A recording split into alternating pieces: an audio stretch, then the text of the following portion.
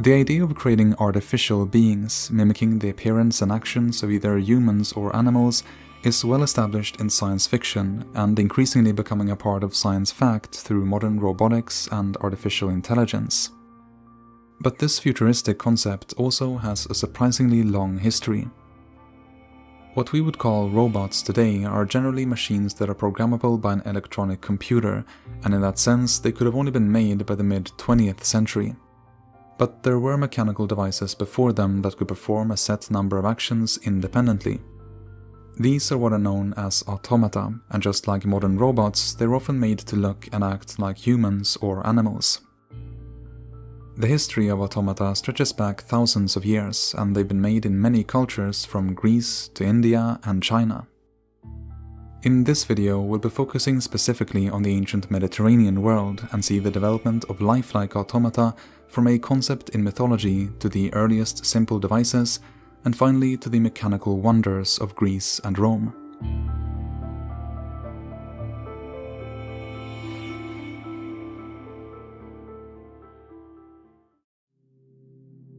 The word automaton comes from ancient Greek and originally simply referred to any event that happens spontaneously without external influence. It was therefore closely linked to the idea of the Golden Age, a mythical era when the titan Kronos ruled the earth and nature spontaneously supplied humans with everything they needed or wished for. It was only in the Hellenistic age, beginning in the 4th century BC, that the word became associated with machines, but, although not referred to as such at the time, what we might call automata do appear in some of the very earliest Greek texts. In the Iliad, thought to have been written down in the 8th century BC and perhaps composed as early as the 13th, the god of fire and craftsmen, Hephaestus, is said to have created a number of golden maidens to assist him. Having trouble walking on his own, the god is described as being supported by them as he limps across his hall. Moreover, the maidens are said to have, quote, understanding in their hearts, and in them speech and strength, and they know cunning handiwork by gift of the immortal gods. To put it into modern terms, you could say that they were equipped with a sort of artificial intelligence. The Odyssey, written down around the same time as the Iliad, features more of Hephaestus' creations. While the main character, Odysseus, enters the palace of Alcinous, he notices near its golden door the watchdogs, they were also built by Hephaestus in gold and silver, immortal and ageless, in order to protect the building. Their purpose as protectors implies that the dogs could move, but the passage describing them is quite vague, so we can't know for certain. Of all the mythological automata, the most famous is probably the bronze giant known as Talos. Having been crafted by Hephaestus, this mechanical being was given to King Minos of Crete, who set it to work guarding the island from invaders. Every day, Talos circled its shores three times, and if Crete was attacked, he would hurl large stones at the enemy ships, or pick them out of the water, holding them to his chest and heating up his metal frame until they burst into flames. The machine was nearly indestructible, but had a weak spot in its ankle where a pipe carrying the life-giving substance known as ichor was bound shut by a single bronze nail. In the Argonautica written in the 3rd century BC, the sorceress Medea uses this weakness to defeat Talos. By hypnotizing the giant, she drove him mad and made him pull out the nail. Consequently, ichor flowed from the wound and Talos bled to death. In Greek legend, the gods weren't alone in making automata. The mythical craftsman and artisan Daedalus, who famously made artificial wings so that he and his son Icarus could escape imprisonment on the island of Crete, is also said to have created moving statues. They're mentioned in many sources, for example in Plato's Meno where Socrates claims that they would run away if they weren't fastened to the ground, and Aristotle relates that Daedalus's wooden statue of Aphrodite purportedly was animated by mercury, which was thought at the time to be a living substance. So the idea of statues that could move and act on their own was present in Greek myth from very early times, but in the first couple of centuries BC, Greek mechanics, and especially a group active in Alexandria, would begin to create real automata. But they weren't the first to attempt it. While the earliest Greek myths were still in the process of being composed, the ancient Egyptians were trying to animate their sacred statues. There are a number of stories and even some physical evidence for this. For example, it is said that in the 1100s BC, the powerful priests of Amun used an automaton to choose who became the next pharaoh. Shaped in the image of their god, the machine would have been constructed in Napata in what is now Sudan and had limited powers of movement and speech. To choose a new ruler, all the males of the royal family were made to pass in front of it, and the statue would then stretch out its arm to seize one of them, while at the same time delivering an exhortation to him. Statues with similar abilities have actually been discovered. Although they don't act on their own, they can be seen as proto-automata and anticipate later developments. This rare mechanical statuette, for example, could perform simple movements. It's believed to represent Hathor, goddess of the sky and fertility, and is carbon dated to between 8 to 900 BC. Probably recounting a mythological story, the statuette could, through the pulling of a string, raise its arms, one of which is now missing, to reveal her body. Its purpose was to capture the movements of a sacred dance, and it may have been used either in festivals or to entertain the supreme god Ra in his temple. In the city of Thebes, a bust has also been discovered that could at least give the illusion of speech. Unfortunately, I haven't been able to find a picture of it, but Egyptologist Gregory Lukianov wrote a paper describing the bust shortly after its discovery in 1936. Depicting the god Ra Harmachis, it's large and made of white sandstone. At the back of the bust, an oval cavity has been hollowed out in the neck, and from here a narrow canal leads to a small opening just under the god's right ear. This cannot be seen when looked at from the front, and so if a priest were to stand hidden behind the bust and speak into the cavity, his voice would have become modified in the tube and resounded as if it was the statue itself that spoke. There is one case of an Egyptian statue that could actually emit sound on its own, but it's unclear whether or not the phenomenon was man-made.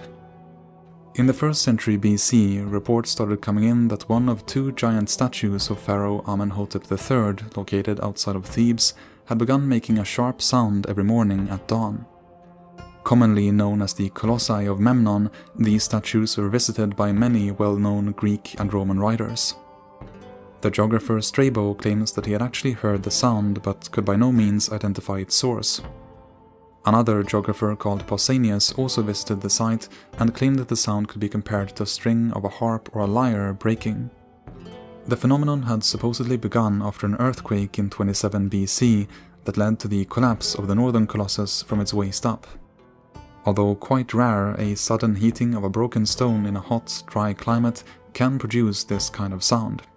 Furthermore, when the statue was repaired in 196 AD, the sound suddenly stopped. Even so, some researchers believe it's more likely to have come from a device located somewhere inside the statue. This contrivance would have then been removed or accidentally damaged during the restoration. Regardless of whether or not this was actually the case, the technical know-how to create such a device definitely existed in Egypt by this time. In 332 BC, the land of the pharaohs was conquered by Alexander the Great, who founded the city of Alexandria on the Mediterranean coast. Following his death, one of his generals called Ptolemy took control over Egypt and made Alexandria its new capital. There, either Ptolemy or his son Ptolemy II created a research institution known as the Museion, the Institution of the Muses. In Greek mythology, the Muses, daughters of Zeus, were patrons of arts and sciences, and this institution would be the origin of the modern word museum. It included the famous Library of Alexandria and allowed scientists to study in full freedom, sponsored by the king for the prestige of the court. Among the wide range of experts employed were a skilled group of physicists or mechanics who would create a large number of advanced automata. The first of them was a man called Ctesibius, who may also have been the first head of the museum. He is known primarily for his invention of an early type of pipe organ called a hydraulis, as well as a suction pump and a water clock, the clepsydra, which for more than 1800 years would remain the most accurate clock ever constructed. Ctesibius is also believed to have made automata. A spectacular example of this can be found in a description of a festival held by Ptolemy II around 280 to 270 BC. Known as the Ptolemaia, it was a recurring event meant to legitimize the rule of the Ptolemies through lavish displays of splendor and wealth. Its highlight was the Grand Procession, a parade many miles in length featuring hundreds of massive elaborate floats, thousands of costumed actors, a full military review, and a host of exotic animals including but not limited to lions, elephants, ostriches, a bear, and a giraffe. The procession was divided into sections in honor of different gods, and in the one dedicated to Dionysus, we hear of a moving statue of Nysa, likely a personification of the god's birthplace. The richly embellished figure was driven on a four-wheeled cart led by 60 men and would stand up on its own, pour a libation of milk from a golden cup, and then sit back down again. As the cart moved across the city, this sequence repeated in a loop. It's believed that the mechanism relied on the wheels of the cart to move, transferring circular energy to linear movement through a recent invention, the rack and pinion gear. The fact that the machine appears in connection with Dionysus is probably no coincidence. Being a god of wine and intoxication, there is something particularly Dionysian about spontaneous movement and spontaneity in general. Dionysian rituals were also intent on disturbing binaries, human and animal, male and female, and in this case, animate and inanimate. As a result, Dionysus is frequently involved with automata. Ctesibius is known to have written treatises describing his inventions, and one of them likely dealt with automata. Unfortunately though, they've all been lost, and although the statue of Nysa is often attributed to him, it's impossible to say for certain who made it. A younger colleague of Ctesibius called Philo of Byzantium largely suffered the same fate, but one of his treatises, which happens to describe automata, survives. Entitled Pneumatics, it comes down to us from an Arabic translation and features a number of devices. One of them takes the form of a life-sized maid which in her right hand holds a jug. When you placed a cup in the palm of her left hand, she automatically poured first wine and then water into it until a desired ratio of 1 to 2 was reached. This was accomplished through air pressure. Activated by the weight of the cup, the mechanism inside would allow air to flow into the first and then the second of two airtight vessels containing the wine and water. The pressure this introduced would push the liquids out through a set of tubes terminating at the tip of the jug. Philo also described how to make statues move, a feature which has been integrated into this reconstruction of the maid. Motion is achieved by means of a counterweight that descends slowly inside the statue. The rope that holds it winds around a pivot that is thus forced to turn and give motion to two hidden wheels. Building on the advances of both Ctesibius and Philo, Hero of Alexandria is one of the most famous engineers of antiquity. Best known for creating an early steam turbine called the Aeolipile, he lived in the 1st century AD and his treatises have largely survived intact. One of them, also called Pneumatics, includes descriptions of 70 automata driven either by air, steam, or water pressure. One of the more simple ones shows a scene that would have been common in front of a temple. Two worshippers are intent on a sacrifice, and when it is done, they pour water on the altar to extinguish the fire. In this case, the altar is hollow and the heat from the fire causes air inside to expand. In turn, the air pushes water, which is contained inside the pedestal below, out through pipes terminating at the cups held by the figurines. Rather than pushing water out, some devices were able to drink. In this example, a small statue of the god Pan draws water from a fountain, and it can be turned around to water an animal. Its mouth is connected by a pipe to a tank that is normally filled with water. But whenever Pan faces the animal, it begins to be emptied, and air rushes into the pipe to fill the empty space. Thus, the figurine starts to drink from the cup presented to it. A similar trick was used to make mechanical birds chirp. In this device, water is poured into a hollow pedestal, forcing air out through a small tube. If the exit of this tube is bent to the surface of a body of water, it'll produce a sound resembling that of a blackcap. Hero writes that depending on how wide or long the pipe is, and on whether it's dipped into water or not, different notes resembling a wide range of birds can be made.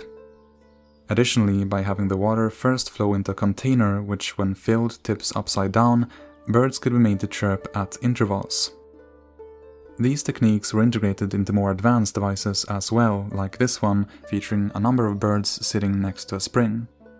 On an axle nearby, there is an owl which will occasionally turn towards the birds, upon which they will stop chirping and become silent.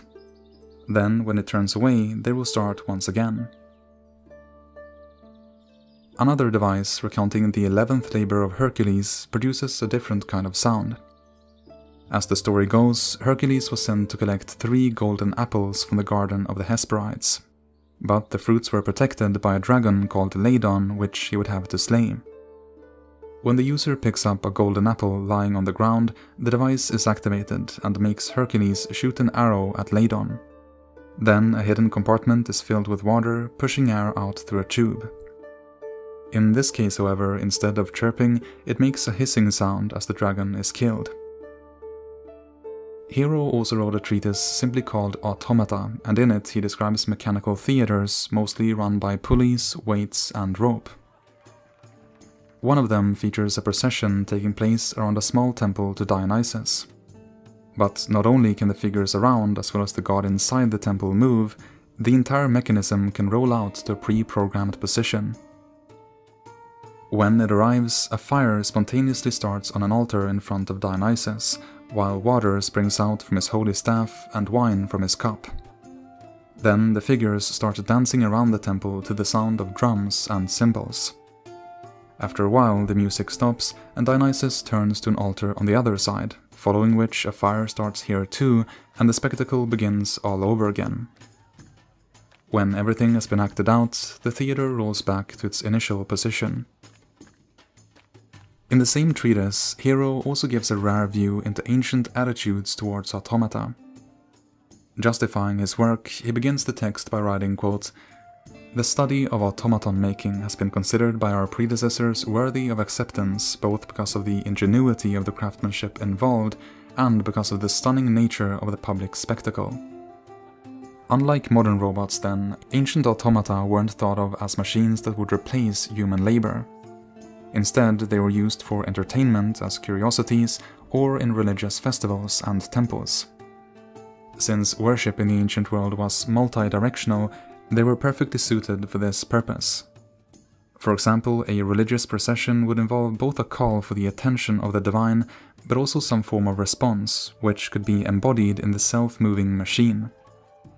As Hero frequently writes, the automaton was to instill in the viewer a sense of wonder. Although much of what we know about ancient automata comes down to us from the great mechanics of Alexandria, similar devices are attested elsewhere and some before the founding of the museum. Almost a century earlier, a Greek philosopher called Archytas is supposed to have created an artificial flying dove. Made out of wood, it was suspended to cables and driven by compressed air hidden inside. We only know of the device from much later sources, however, and exactly how it would have worked is unclear. Another pre-Alexandrian automaton is mentioned in connection to a Dionysian festival that took place in Athens in 308 BC. Probably a kind of carnival float, this mechanism was of all things shaped like a giant snail that moved on its own accord and left a trail of slime behind it. The reason for this seemingly odd design choice could be that the festival was held in March and that snails were seen as a symbol of spring. Additionally, a giant shell would have been an excellent place to hide the mechanism driving it. But here again, we don't get any details on how it worked, and it may well have been operated by humans treading on a sort of hamster wheel inside. The Greek island of Rhodes is also noted for its automata and its strong tradition of mechanical engineering in general. Philo of Byzantium studied here, and the poet Pindar describes the island city as having animated figures adorning every public street. Eventually, both Greece and Egypt would be conquered by the Romans, who left no treatises on automata making of their own. Nonetheless, such machines are mentioned frequently in other literary sources and therefore seem to have been quite common. For example, one appears in a history book written in the 2nd century AD. The book claims that a self-moving wax statue of Julius Caesar was made for his funeral. It depicted the man rising from his deathbed and turning slowly to display his 23 bleeding wounds to the crowd. This successfully instigated the people of Rome against Caesar's killers, forcing them to flee the city. Another history from around the same time claims that Emperor Claudius would get so frustrated when his automata malfunctioned that he would send their manufacturers to fight in the arena as punishment. Even as late as the 5th century AD, grammarian and philosopher Macrobius refers to processions with self-moving or talking statues taking place in at least two Roman cities. At the same time as this observation was being made, classical antiquity was coming to an end. Although there is no consensus on exactly where to draw the line, the transition into the Dark Ages is often associated with the fall of the Western Roman Empire in the 5th century and with the early Muslim conquests 200 years later. The end of antiquity did not mean the end of automata, however. Although, as we've seen, many treatises on the subject have been lost, those of Hero and Philo continue to be copied and studied in the Eastern Roman Empire, and their knowledge would be transferred into the Islamic world and later back to Western Europe during the Renaissance. In this way, the advancements made in antiquity could be built on and would inspire new, ingenious machines.